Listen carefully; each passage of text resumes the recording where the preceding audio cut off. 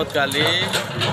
Terima kasih mendapat dukungan dari warga masyarakat sehingga masyarakat desa Wodgali di Rata sampai gigih untuk menyewa alat berat untuk memperbaiki jalan jalan Duku Wodgali apa Wanarata Duku Bangsa yang notabene itu jalan kabupaten yang rusak parah padahal jalan ini untuk mengakses ekonomi jalan ekonomi perekonomian dan untuk membawa hasil bumi juga sangat susah.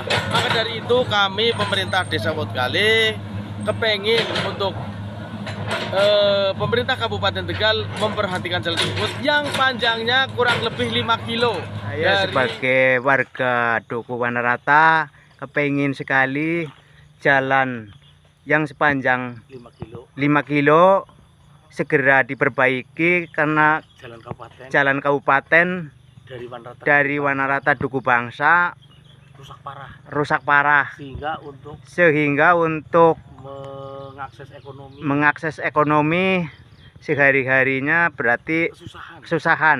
Jangan lupa follow, like, dan subscribe sosial media Tribun Pantura.